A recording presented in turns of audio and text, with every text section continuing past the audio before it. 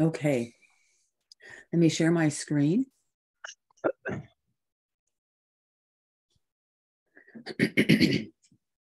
My name's Diane Camacho, and I am a consultant for solo and small law firms uh, across the country, basically for helping partners relieve some of the stress and relieve some of the tasks that they're doing that are non billable. So, helping you organize and coordinate your office and get things moving so that you can practice law and not manage minutia and you can be looking for clients. The other thing we do is we help attorneys start up law firms. So we work on a lot of different levels. I've worked with attorneys for about 35 years. Been um, I started this company in 2013. So those of us that work here have all been managing law firms for a very long time. Early on, I found that many of our clients did not manage their trust accounts properly. So I've been giving a trust account seminar for probably four or five years in various locations for various different bar associations and attorney groups. This year, as we all know, California State Bar has put something new in place. I want you to understand that it does not change any of the rules and regulations regarding how you manage your trust funds. So if you're doing everything and everything's fine, all you need to do now is tell the state bar, I know what I'm doing and I'm doing it. So that's kind of the the change. It's not the rules, it is how the state bar is trying to monitor whether attorneys are managing their trust accounts. So trust accounts are one of the top reasons that attorneys get reported to the bar, disbarred, and that is across the country. We find this in Massachusetts, in Florida, and Texas, and Denver. We find it all over the, the United States. So it's not a California issue. It's one of those things that attorneys don't learn unless they go and proactively look for the information. So it's oftentimes something that kind of sneaks up on an attorney. It's not usually a malicious incident, although obviously there are situations like that. We always have to remember that this is not the firm's money. That's the first premise. This is not our money. This is somebody else's money that we have a fiduciary responsibility of managing. It's not the firm's interest. If you have an interest bearing account, and you should, it should be going to the state bar. And we need to document all of this information. We need to be able to report to our clients, report to the state bar, report to each other what's going on in our state bar trust account. And we need to make sure that we're reconciling it and we're reconciling it appropriately and properly. So we'll talk about all of these different things. So the rules, regulations are the uh, 1.15 safekeeping property from the American Bar Association and pretty much every state that I've looked at the state bar guidelines has a similar clause in their state bar rules of professional conduct. So so everybody in the United States is is adhering to these rules. And then we have the California Rules of Professional Conduct, which is 4 100, which is preserving the identity of funds and property for clients. So those are the two overriding rules, regulations, laws, however you want to look at it. Those that's where you're getting guidance for these. so if we talk about the interest, we all talk about trust accounts and we often say IOLTA accounts. And IOLTA accounts are accounts that are set up that are owned by the state bar that you're operating in, and the interest automatically goes to the state bar. So when you're setting up your bank accounts for your law firm, you want to make sure that you're working with a bank that understands that process and understands that the fees for that account should come out of your operating account.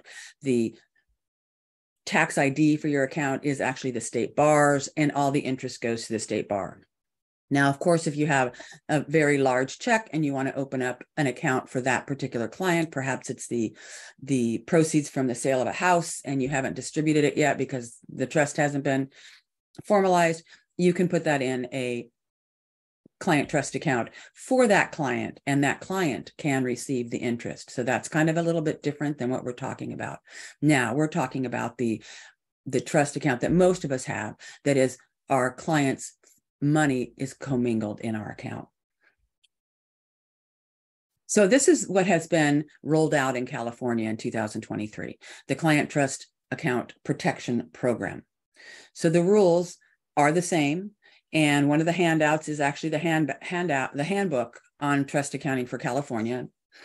And the difference is we now are responsible for certifying that we understand how to monitor and how to handle client trust funds and we give the state bar the balance of our trust account at the end of the calendar year. So right now we're required to tell the state bar through the interface that we all send our we all pay our bar dues. So there's a, a law firm portal. We go in there, we pay our dues. We might pay the dues for five or six attorneys. And in there, there's a place now that allows you to put in the balance of your trust account on December 31st, 2022. And that's going to be a requirement annually from now on. The firm can certify the balance in your trust account on behalf of all the attorneys in the office. However, now the attorneys need to complete a self assessment or self evaluation on their my state bar account. And again, one of the handouts gives you some information about this. And it's basically going to say, do you understand everything that I'm going to talk about today? And is your firm adhering to these policies or practices? You can certainly speak to the person that is in accounting or your managing partner and talk to them talk to them and, and ask them if they are following these procedures. And them saying that they are is okay. You don't have to go in there and do your own personal audit. You just have to be responsible for working with clients that you have money for responsibly and you may not be the originating attorney, you may not be the responsible attorney. It doesn't matter. You just have to do it. So, attorneys that don't directly work with the trust funds are called subordinate attorneys. And it says here a subordinate lawyer may consult a supervisory lawyer to confirm that the duties that are not personally performed are being properly discharged by others in the firm. So you go and you talk to them. You obviously know what you're talking about. They obviously say yes. A lot of times, these things that we're supposed to do are being handled by our practice management software. so it's happening kind of automatically.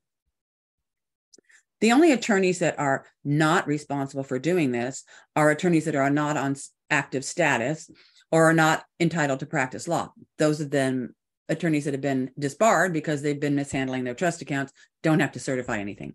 So it's basically every attorney in the state of California. And it may seem ridiculous, but it's the only way that we can assure that this information is really given to everybody that is responsible for trust funds at some point. Okay, so let's talk a little bit about the trust account and, and what's going on in the trust account. so it's an interest on trust accounts and it is what I talked about. The interest is sent to the state bar. It's the state bar's tax ID number.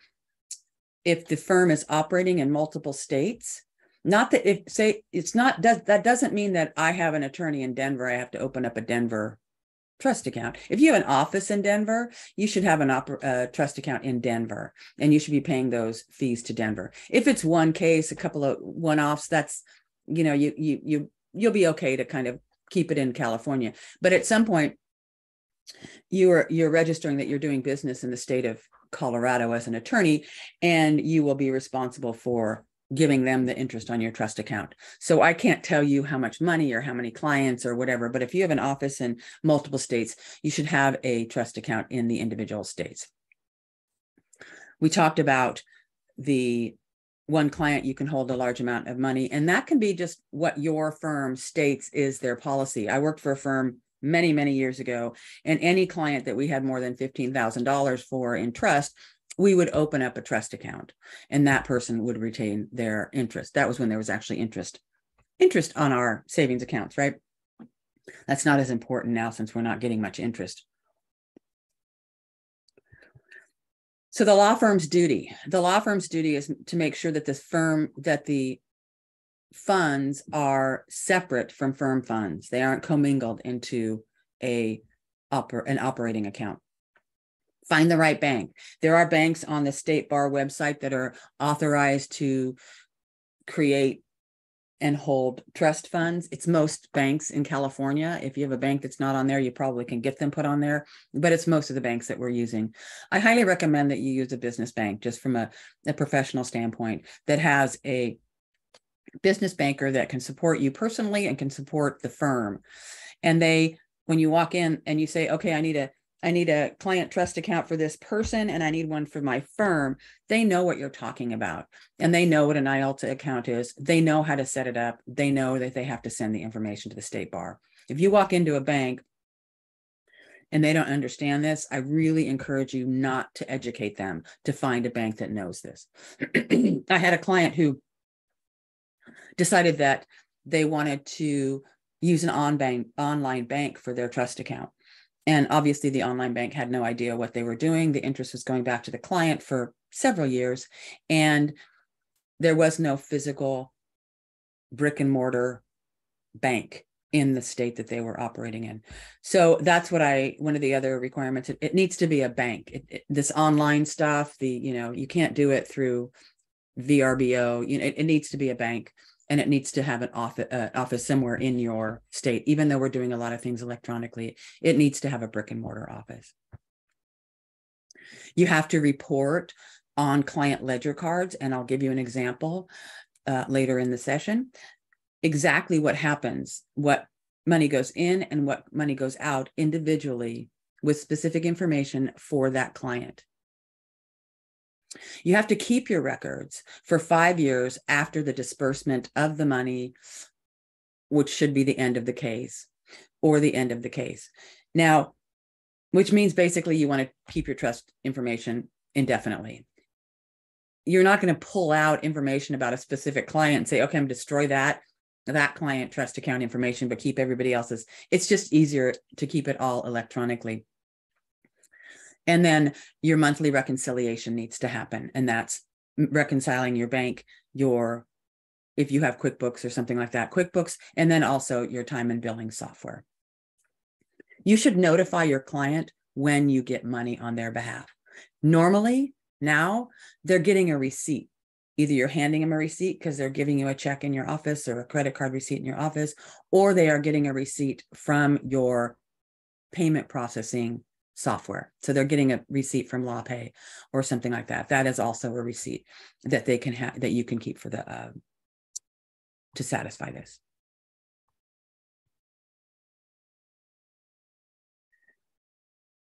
What goes into the IOLTA account?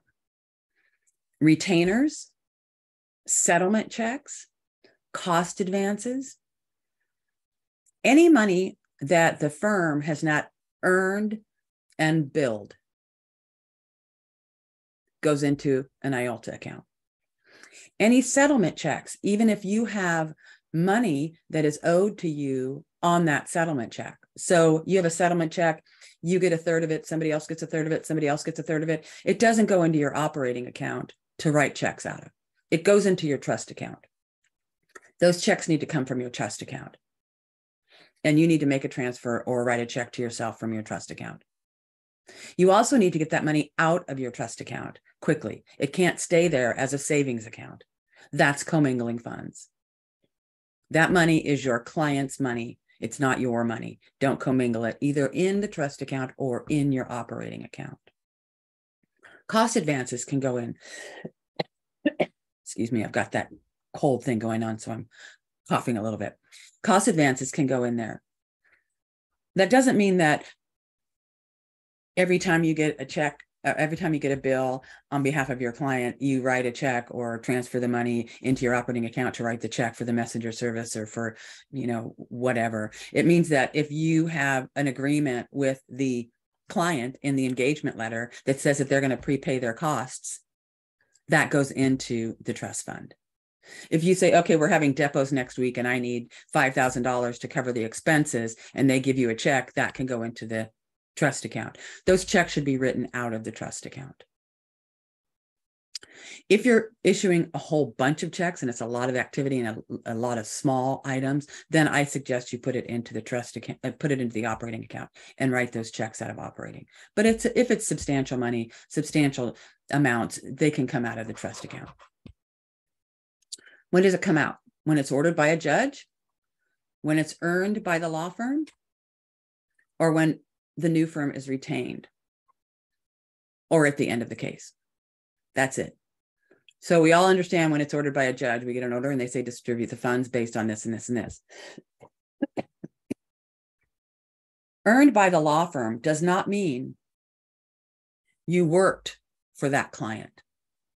It means you worked and you billed that client. So if you have a practice that is largely retainer based, and you're working on cash flow and you just want to make sure that you have you know money in the middle of the month for payroll you can certainly do your billing twice a month. But you can't say on the 15th okay payroll's due on the 17th let's see how many hours i worked on diane's case and transfer money from the trust account to operating. Can't do that. You have to issue a bill that day give it to the client and re- and pull the money out of trust the client technically has to have an opportunity to dispute those fees. If they don't ever see the bill, they don't ever see the fees.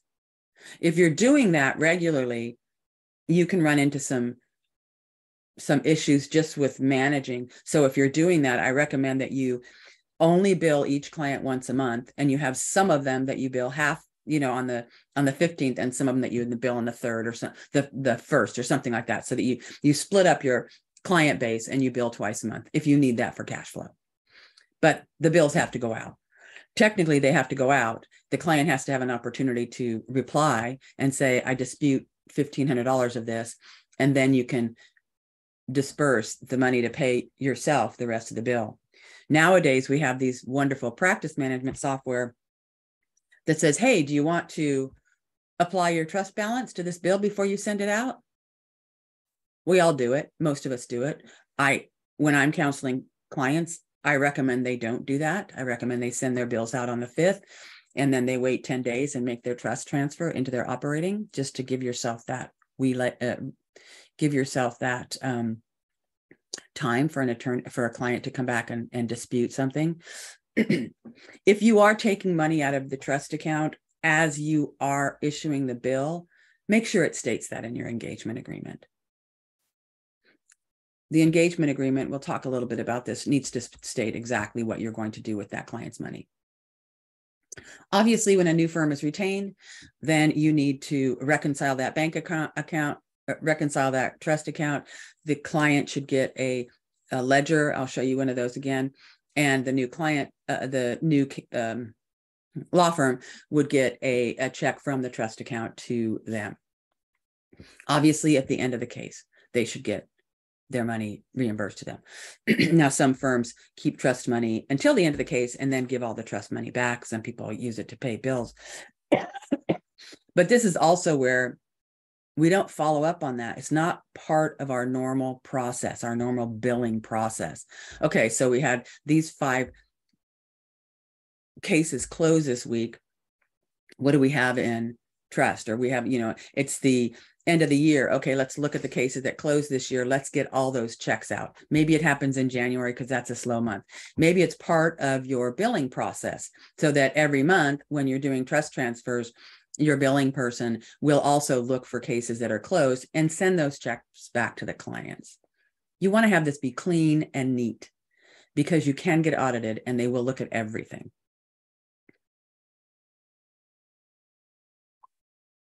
We talked a little bit about this, and this is where people really get into trouble.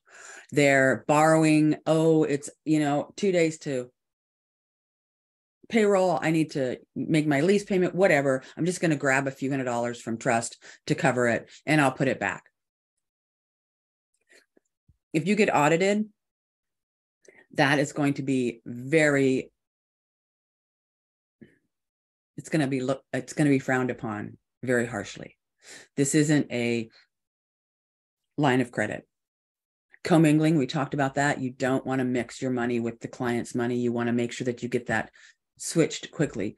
I have clients who have well, it's just easier for the client if they only have one link. So we always have them send their trust deposits to our operating account. And then once a month, if we remember, we move that money into trust.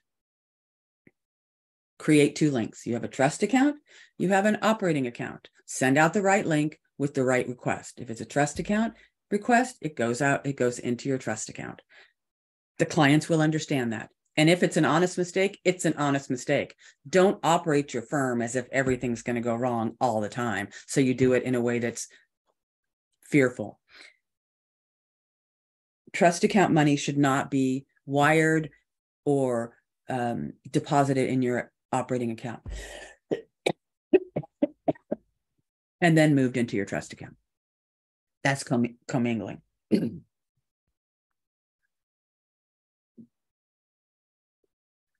paying expenses with trust accounts. We talked a little bit about this where we um, talked about the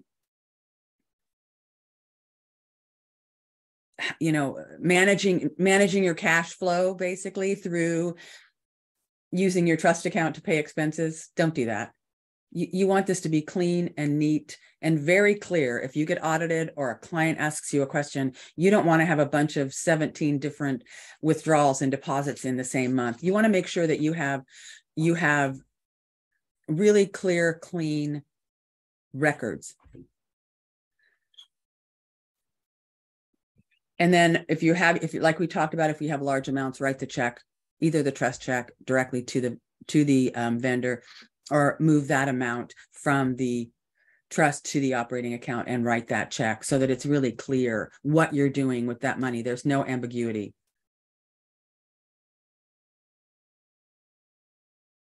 There's a question How many days must you provide client before paying yourself? Is there going to be random audits? Can you pay client costs out of operating and then bill the client? Okay, so number one is it's a law term, a, re- a reasonable amount of time, time enough to give the client an opportunity to dispute the bill. I say 10 days. I say if you're mailing them, you know, they're going to get them in two or three days. If you're sending them electronically, they're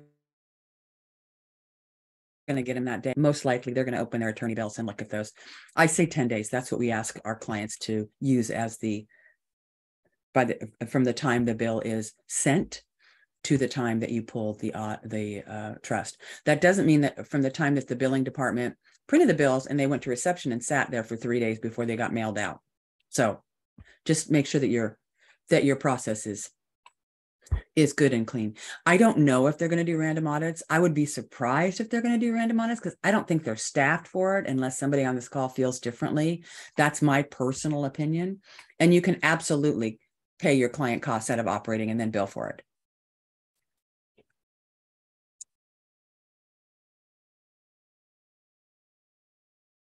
Okay, so we're going to talk about reporting, and this is one of the ways that law firms get into a little bit of trouble. One of the reasons they do is because they have software that doesn't create these reports for them. And that's all, that's all I can say. I, I don't know. They don't know that they're supposed to keep them, and then the the software programs don't actually keep uh, you know keep records like this that you can print out. And then if a client asks for it you have somebody going through all the records auditing it reconciling it and then doing an excel spreadsheet and sending it out. They should be able to call at any time and get their ledger their trust ledger. It's called a ledger it's a report used you know comes from the ledger cards that people used to fill out or the ledger books. They should be able to get that. It should be reconciled every month. Also the firm should be able to print out a report that has all the activity in that trust account for every client for the firm that month. So let's look at a couple of those reports. This is a very simplistic firm trust account ledger. So as you can see, it's for the month of May. We've got the clients and the matters. We've got the previous month balance, the activity, the activity date, and current balance. This is really, re- really important. For some reason, one of the requirements is that there's a report with a running balance. And that's what this is. You can look at it at any time and see that it's the actual balance in that client trust for that person. And if you're doing this, like I said, within your practice management software, it will automatically generate one of these reports if you ask for it. So you're going to put in there how much they were in the how much they had at the beginning of the month, the activity, when it was, and exactly what it paid, what you did. Uh, you know, they replenished, you got replenishment, and you've got the $905. Same thing, you can just walk through this report and see what you have. This amount of money, this $3,155, should balance with your bank. This is often what is not being balanced, what is not being reconciled which is very, very expensive when you have to have somebody like my firm come in and reconcile your bank accounts to your client billing back to like say 2010 2015 which we recently did for a client. Very expensive but it needs to be done. And you need to go back and balance to the penny as much as possible in some instances you might tra- change trust accounts so you might say you might move from B of A to Wells Fargo, for example, and you didn't reconcile your B of A account. And it doesn't match your client billing software for the end of that year. You're never going to recoup that money. You need to talk to um, your CPA or somebody like that to to figure out how you want to correct that but it needs to be corrected and you need to get to a point where you're balanced to the penny and you can move forward it should be done at the beginning, at the end of the year. And right now, it's important, obviously, because who knows what they're going to do. So that's the firm trust account ledger. And then each client, you can do this either by client or by client matter. But I've got this by client. I'm the client. This is my trust account. I've got client one, uh, matter one is 57, matter two is 75. They're all commingled. But you can see funds in, funds out, and balance what they were used for. Payment of invoice transferred to this. This is the matter. This is the amount. This is the running total. All of these things. And then you come down at the end of the month and it's $9,210. That should reconcile with this report for that client. So everything should reconcile with each other. what we find is that people, law firms are having their bookkeepers reconcile their QuickBooks or Xero or, or whatever, their bank account with their financial software. So the software that they use for their CPA, but they're not looking at their time and billing software. Remember, that's what your clients see. That's what they expect to be in the account. If your firm had to be completely dissolved tomorrow, would you have the proper amount in your trust account to do that? You must reconcile the time and billing software to the bank. QuickBooks is great, and you should, but really, whatever you're telling the clients should be what you have in the bank on behalf of them. So that's a really important reconciliation that we often don't see happening. And that's where people get in trouble. And then we have to go in we have to go back to when we can balance it. And then we go in and client by client identify each entry for them. So you can see if you have a bunch of messy entries every month for a client because you're paying expenses and doing this and doing that how hard that is to reconcile how messy that's going to look if you have to get audited by the state bar account just it's just red flags all over the place and it makes it much more difficult to manage so this is what we're talking about. The bank, your time and billing software, and your financial software must, must reconcile to the penny. You can put money in your account, in your trust account for administrative purposes. So if you have an account and you don't have, have a lot of money in it all the time, and you're afraid that maybe a wire fee will randomly come out of your trust account and you might be overdrawn, put a hundred dollars in there and mark it as administrative uh, administrative costs or something like that in your book so that you have a, a hundred dollars or a certain amount of money to cover kind of weird random things that might happen. Once your bank account is overdrawn the state bar gets notified immediately. So that's one of the ways that you will be audited. The other way obviously is if a client complains and evidently in california they have to complain a lot right? So if you get complaints against you for i don't know five or six years something happens. Anyway that's how you get audited. You get a complaint to the bar or your account is overdrawn.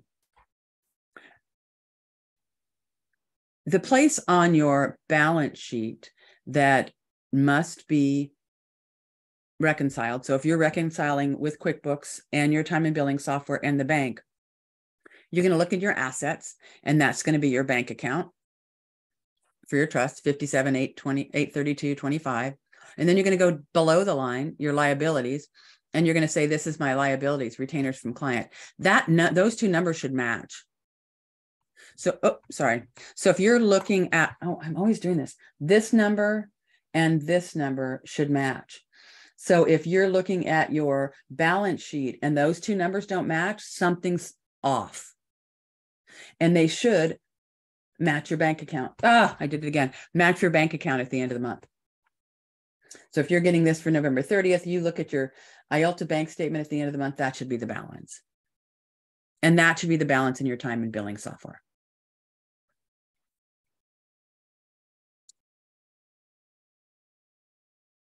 Oh, I'm going very quickly. Does anybody have any questions so far? Okay. The most common mistakes. And again this is not just in california. If you go to any state bar and you look um, on their websites for the i don't know what it's called for the disciplinary actions you're going to probably in the top three you're going to see trust account mishandling client money something like that in every state. It's happening all over the place. A lot of it's not because it's not intentional as we know. But borrowing money is one of the problems. Commingling money, again, not having a clear line of what goes in trust and what goes in your operating. Fees, so charging your clients fees or having fees come out of the trust account. So your fees should be, if you're paying fees for that trust account, should be taken out of the operating account. If you are charging your client fees for wire transfers and that's explicitly stated in your operating agreement or your engagement agreement those fees can come out and as long as they're identified for that particular client. But fees traditionally are taken out of the operating account. So this is another reason for you to find a bank that knows what they're doing. You know wells fargo bank client went in and said, we need to have the fees taken out of the operating. They said, we can't do that. Well, we all know that they can. It just didn't, that particular person didn't know that or, or whatever. So make sure again, you're, you're working with people and banks that know what they're doing with these accounts and these fees. So the fees for these accounts should definitely come out of your operating account. Booking this booking the trust account as income. Now, obviously, we don't want to trust, you know, we don't want to book it as income because you're going to pay taxes on it. But if it's income anywhere on your financial records, it shouldn't be. It's a it's an asset and a liability. It's not income, if that makes sense. And the bad the, the last thing is bad record keeping, not keeping the records, uh, not being clear, not having people know what's going on, what's happening and not being able to provide the records easily and quickly for either the state bar or a client having it take you know weeks and months to do that one of the things that's changed in the last few years is and you might be aware of this is It used to be that you, if you took in trust money that was less than, it was a flat fee case and it was less than a thousand dollars, you could put that in your operating account. That's changed now. You can put all of the flat fee receipts into your trust account immediately. However, you must describe that in the engagement agreement and allow the client to choose to put the money in the trust account. If, in fact, that client doesn't stay with you through the entire length of the case, you will be responsible for returning some of that money based on where you are in the process. So even though you have a flat fee case, there should be milestones that you can identify so that if in fact you're asked to stop preparing the trust documents because their brother-in-law just passed the bar they want to give the work to him then you should be able to say okay we've done this and this and this and this is roughly 50% of the work and we're going to give you 50% of the trust deposit back and here's the here's the information about where we are. So even though you're not tracking hours on flat fees it's a good idea to be very clear about how you set your flat fees and what milestones there are.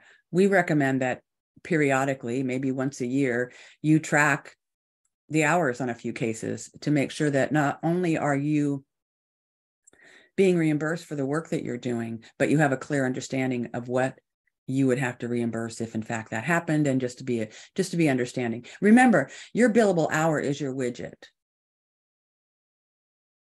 We have to understand what the cost is for that widget.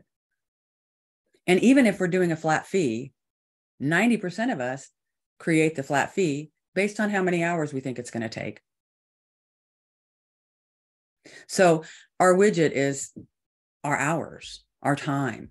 So we need to be very clear about what we're doing and how we're financing our time and if our time is being reimbursed appropriately. So if you're doing flat fees and you've been doing them for 20 years and you just, you know, you raise them 10% every year or whatever, when you get a new client, think about the think about the cost of living increases. Think about all the money that the the in the salaries that have changed over the last 5 years in order to keep good people. Are you still profitable with your flat fees? If you haven't looked at those. Anyway, just an aside. Any questions? That's the end of my session. I just ran through this. Maybe you guys didn't have enough questions or I was talking fast because it normally takes me a lot longer than this. Does anybody have any questions or want to talk about something in particular? Yes. Uh, I I do have a question. Uh, mm-hmm. The state bar uh, now has said that in addition to other records that we traditionally kept, there is a requirement for keeping a journal, which is duplicative of some of the other things that we do. And my question is whether they they should be able to require us to go back and create a journal for past years prior to the implementation of this new system. You mean the the trust ledgers, the ledger or journal for each client? Well, uh, I'm not sure exactly what they mean by the journal. I, I keep my records for each client in a sheet that shows what their funds are when they come in, when they go out. Mm-hmm.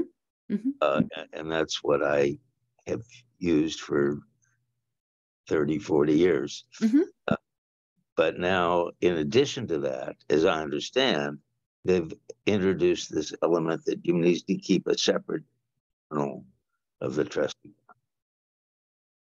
or the account. It's not a new rule, and if you're keeping, uh, like if you're keeping, say, uh, a paper ledger card for each client or you have an excel spreadsheet for each client or one excel spreadsheet with different tabs for clients that's a ledger for your clients if you're uh, if you're documenting every entry going in and every entry coming out and that reconciles with your bank that's the well, journal yeah the, yeah the terminology they use is if they want me to keep bank statements which i do cancel checks which i do mm-hmm. and the card or ledger for each client.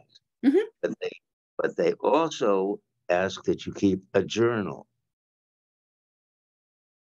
I, I don't know what that is. I don't, I, I, I don't know if that means the journal for the firm. So you have the, the, the, um, this for the firm. Well, I'm a sole practitioner, so it's not as complicated as it would be with a firm. Uh, and, uh, and. I uh, think you're fine. I think you're Okay. fine.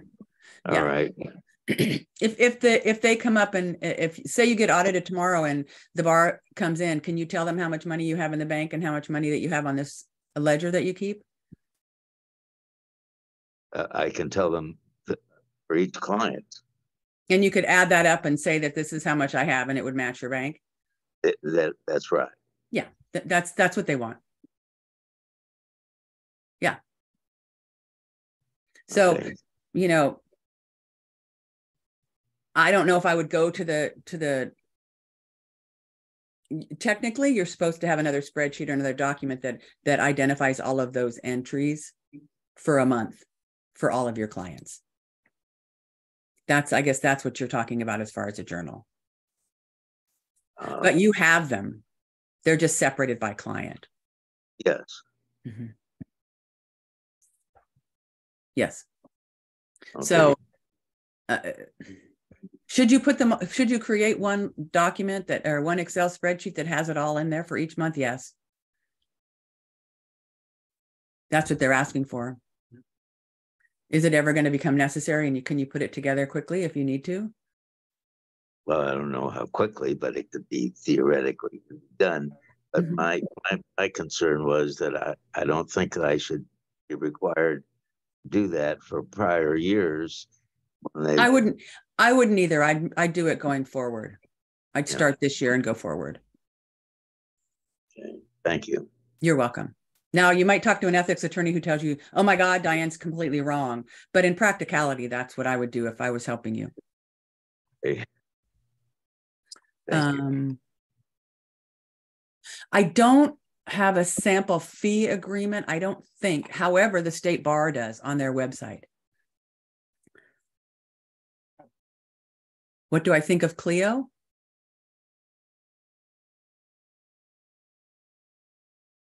Um, what do I think of Clio? Clio is the software that's been out the longest, that has corrected the most problems and has the most opportunity opportunity for integrations. So it, it kind of they give you these reports. As I as I showed you, those reports are from one of those reports is from Clio. are you required to put flat fees in the client trust account even if you know? Yes, unless you tell the client you aren't going to in, in- unless you tell the client you aren't going to. Yeah. So just add it to your trust. Just add it to your fee agreement.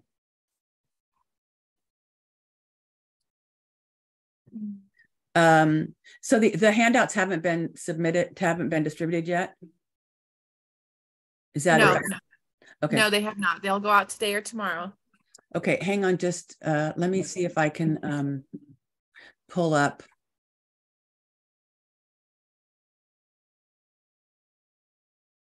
One of the things you're going to get is this document. Can you guys see this, the state bar? Yes. Okay, so this is kind of what the state bar is going to ask you on the website. So you know what you're going to have to answer. and it goes through, you know, I affirm that the funds held in IOLTA are maintained in an IOLTA eligible account. Um, I affirm that the registration information is updated annually with the state bar. Um, they're, you know, organized and, and held as, a you know, in accordance with the rules of professional conduct. And then here you have, you've got the client ledger, the account journal, that's what you're talking about, I believe, bank statement and canceled checks. One thing I need to say about bank statements is you're going to want to print those and save them electronically somewhere or, you know, paper somewhere because your bank may not have them available for you after a certain period of time. This kind of just hit me a couple of months ago was that, oh, we should be downloading and saving those in our document management or something so that we have our the complete records for the trust account in case we have to go back.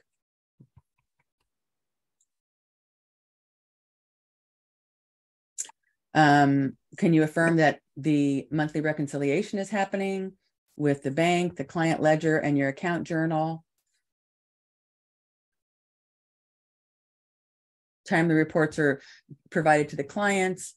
Um, normally, what we're doing is we're giving clients information on their bills that says how much money you have left in your trust and if there's any trust activity during that month for their account. And if you're not doing that, you probably should add that to your bill format.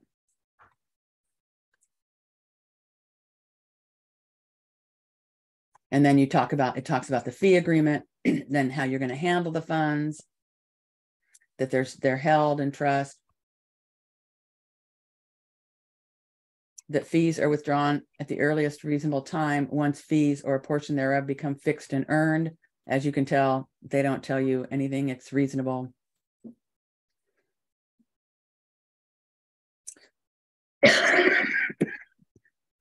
they are not used to pay bank charges or service fees.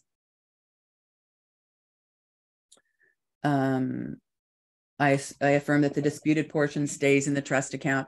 So these are these are basically everything that we went through today.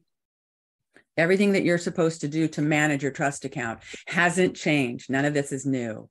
I've been giving this seminar for five years, but now you have to affirmatively attest to the fact that you know what the rules are and that your firm is following them. So hopefully that'll help. Anything else? Do we have to talk for another 12 minutes in order to get CLE? Uh, you know, I'm gonna unspotlight and I'd like to open it up um, um, for everyone. I'd really encourage if there's any other questions, um, now would be a great time to do that. If anyone else has anything else to ask Diane. So one of the questions is clarify account journal and client ledger. So this is the firm trust account ledger. So this is the account ledger. Let's see, let me go back to my.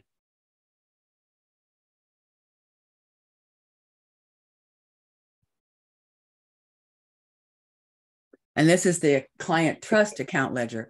Well, for them, it's the client ledger, take out account trust. It's just what I call it. So this is for the client and this is for the firm. Those are the two reports that you need to keep.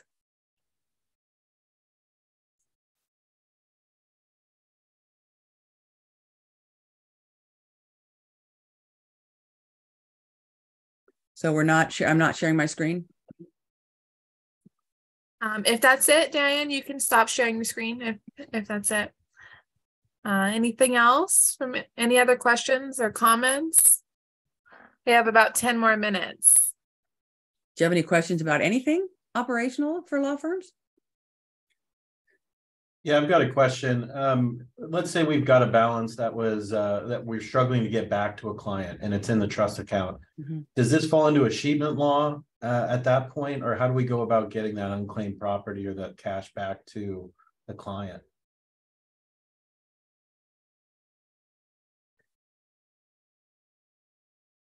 I don't have the answer to that um, I will find the answer to that because I've been asked that before. I'm, I'm assuming that since it's in a in it, it's in a uh, an account that isn't even yours, that the the rules for California for abandoned accounts would kick in. Um, but I need to find that question out. I need. Is there an ethics attorney on the on this call? Can anybody on that on the call answer that question?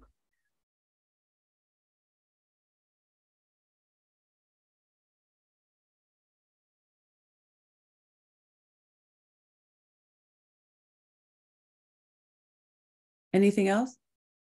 There's one more in the chat. Okay. Yeah, there it is. I'd love to know how to return money when you can't find someone. I can't I can't remember. I'd have to go back and read that that thing. Yeah, I think you just from my understanding of escheatment is you attempt to get it back to the last known address, you know, with a letter saying we have funds for you. If that letter goes unresponsive, then you send it to the state controller and they will attempt to get it to that uh, client or party. And then from there, if they don't respond to the state controller, the, the state can take in those funds. Um, but it, that's just my understanding of escheatment from prior lives. I hadn't really ran into this with, you know, client trust funds, but I figured it would fall the same as, you know, a credit for an AP invoice, eh, you know, in a similar scenario. Um, I was just curious if there's guidance. Um, I haven't seen that, but I, I will, I will check with a couple of resources and, and find out if I can, I can um, get that answer for you and then I'll send it back through the bar. Okay, thank you.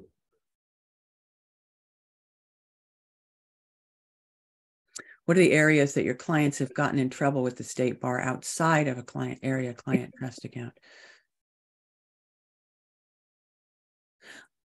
I haven't had any clients get in trouble with with um, anything outside of the client trust account. Um, that's you know when you're talking about operations and what what we do, which is all the operations, you're going to get in trouble with your employees or with the trust account primarily. It's not normally practicing we don't get involved in in the practice of law and if you would maybe misrepresent or a paralegal would be representing as if they were a client i mean as if they were an attorney those kinds of things. We don't normally get involved in that but that's what i would see would be a problem. Question please. Mm-hmm, sure. Yeah i just want to know um, does this satisfy the additional amount that the state bar wants or is there more to it? Because this was really good. This is this is basically the requirements yes. This is this is if you do what I've put in this presentation, you're going to be fine and you can certify that you're doing it. That's fantastic. Thank you so much. You're welcome. You're very welcome. Good. And if anybody has a problem with their, you know, they're looking at their their accounts and um, then you know speak to your bookkeeper make sure that they can go back and reconcile a trust account if you don't have somebody to do that we can certainly help you with that um, it's not cheap I'm really sorry to say. And um, it's always kind of a surprise. We had a gentleman, you know, uh, not even a general, a client several years ago who had done that, had client who had uh, closed their account without reconciling it. And there was, it was like 200 and something dollars, but it's like talk to your CPA and figure out how to account for that and make it zero. I'm glad it was clear. I'm glad. I'm glad. One of the prior questions uh, triggered uh, another question that I have, not mm -hmm. with, dealing with returning client files when you're ready to retire. Yep. Uh, I've found that uh, some of my clients have, have old files that don't want to destroy. And when I've tried to give them back, I've been able to contact the clients probably because they're deceased. Mm -hmm. Mm -hmm. But it occurs to me that maybe I could treat those as abandoned property and turn those files over to the state controller's office. How does that sound? Are they client files like the records of your work for them? They're they're, they're the the client files, the, the files that I had for those clients. The state's and, not going to want them. You can destroy them if you can't find the person. Well, I know the state's not going to want them, but I, am reluctant to, to, to destroy them because I don't like destroying things. You'll you'll well leave them for whoever takes over your practice, but you can destroy them. If you have a if you have a policy, if they're a lot older than what kind of law do you practice? General civil practice. Some of the many of the files are estate planning files. Mm-hmm. Mm-hmm. But they um, aren't the original state. The original st- estate plans are with your clients, or did you keep those? The, the original wills and trusts are mostly with the clients. Yeah. Uh, years ago, sometimes I kept them for safekeeping. That was a big mistake. I'd never do that again. Mm-hmm. But uh, uh, those I keep in a fire resistant cabinet. Mm-hmm. But sure, sure. And, sure. I, and I think I'm sort of stuck with them. But I, uh, what happens when I'm no longer here on Earth uh, with those files?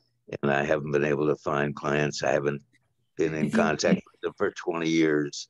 If you've And- documented that you've attempted to find those clients and you're unable to find those clients, you can destroy those files, especially if they're older than seven years old. No, It well, is first of okay. I don't think that there's anybody on this call that would disagree with that. And, and of course, it's always a good idea to have a statement to that effect in your engagement letter, saying, well, I'm going to, I'll keep your file Absolutely. for X years, after which I'm going to get rid of it. As long as you keep that up and get rid of them. Right. A lot of a lot of people now are saying, I'm not keeping your files. I'm going to send them back to you at the end of this case. Uh-huh. Yeah.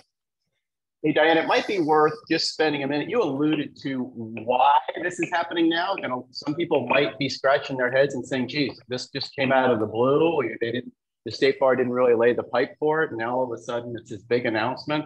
Uh, you alluded to it, and the answer is Tom Girardi. Um, Mhm. And uh, I think we all got the letter from the state bar trustees in, I think it's November 2nd or 3rd of last year, where they basically made this astounding confession about the number of complaints they'd had about Girardi, the most of which had to do with trust fund issues. Uh, so the state bar kind of got kicked in the ass by that. Uh, they you got they had this, the state legislature looking over their shoulders at them. So they're like a cat on a hot stove. Uh, they got a new bar head bar disciplinary lawyer, a former federal prosecutor. Mm, So if, if I were a betting man, I would bet they're going to get hyper aggressive. That whatever we saw in the past about you know how they conducted things, how they conducted audits, whether they conducted audits, et cetera. Uh, my own view is that at least for a time, they're going to get hyper aggressive. And my understanding also is that if they do audit you, they will come in and they won't do it themselves. They will come in and require you to go out and hire a CPA firm at your expense to conduct the audit and report to the state bar. Um, mm. so, so just a word to the wise, just get your house in order. Uh, I think there's going to be some some people are going to be hung out to dry. They're going to be looking for some scalps to hang out and show that the new cop on the beat is is taking names and kicking ass. Uh, so I, I would just be very very careful going forward. And my guess it's going to be small firms. Yeah, that's probably right because the, the big firms are less likely to make mistakes. Um, and uh, because they have professional uh, managers, law Mhm. practice managers, Mhm. I think you're right. I think it'll be small, solo and small firms, and we'll be the low hanging fruit. And some people are going to get crucified for innocent mistakes. And and don't assume your bookkeeper knows about this. But my bookkeeper, your if your bookkeeper hasn't or your CPA hasn't uh, uh, uh, made you aware of this, it just means they don't know. They probably don't work with law firms much, or they do, but they're doing it so long and they never learned it, whatever. But don't assume your bookkeeper knows about trust accounts. If you are looking for a new bookkeeper, make sure you find somebody that understands trust accounts and works with law firms, not your neighbor's son who just graduated from, you know, Davis with his accounting degree. Really, it's it's really important. This is this is it for you guys, you know, for some of you.